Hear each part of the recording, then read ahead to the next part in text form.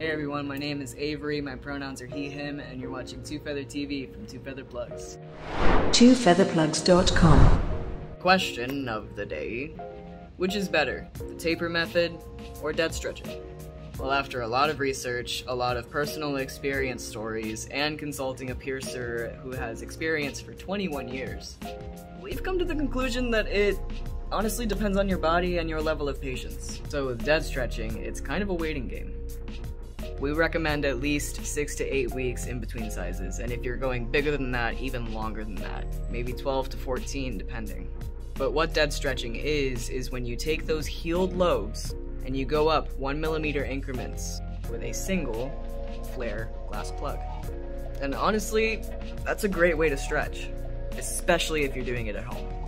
It leaves less room for you to have tears or blowouts.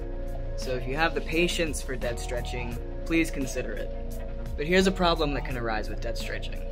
Sometimes our bodies don't naturally stretch like that. And there are personal experiences of people waiting three or four years and their ears have not budged. And the recommendations for dead stretching says that it's not supposed to hurt, so if you try and force it in, you're doing it wrong. Thus, the, these people aren't getting the stretching experience. That's kind of where using a taper comes in. But the thing with tapers and the reason why they get such a bad rep is the misuse and abuse of them. Now this is from our taper kit that we sell on twofeatherplugs.com. And what we give you is the taper and the tunnel for the correlating size. Now what you're supposed to do with tapers is use this to size up to that size and immediately follow with your tunnel. And then you keep the tunnel in to heal. What a lot of people do, and what I'm guilty of as well when I was younger, is they use this as an earring. This is kind of like keeping the hammer in the wood instead of using the nail. And while it looks really cool to have a spike sticking out of your ear, when you wear this as jewelry, you risk uh, uneven stretching, you risk it tearing, micro tears, or worst case scenario, it pops you right in the neck. The professional piercer that we consult that has been doing this for 21 years uses tapers, but he uses tapers with bowls on the end so he can put the jewelry in and immediately put the correct tunnel in. And he only uses tapers for the smaller sizes. Once you get bigger, then you still have to dead stretch. Which, if you're one of those that it stays stagnant, you can use weights to help out. So all in all, the war on dead stretching and the taper method is honestly a war of preference and body type. At least that's what we've gathered.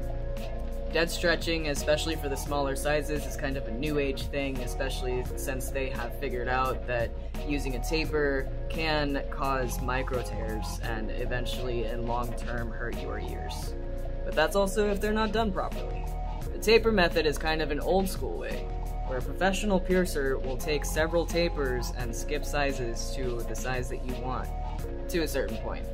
And there's even the method where you literally punch a hole in your ear and stretch that. But all in all, stretching your ears is a body modification. And if you're not comfortable modifying your body by yourself, please, we always recommend going to a professional piercer. And yes, that is a thing. I didn't know it at the time, probably would have saved my lobes, but now I'm here to tell you. This video or any other videos that we have, please go ahead and like and subscribe to our channel and follow us for more.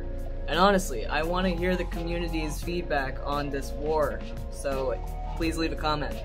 And as always, may your stretching journey be safe and swift. And for you.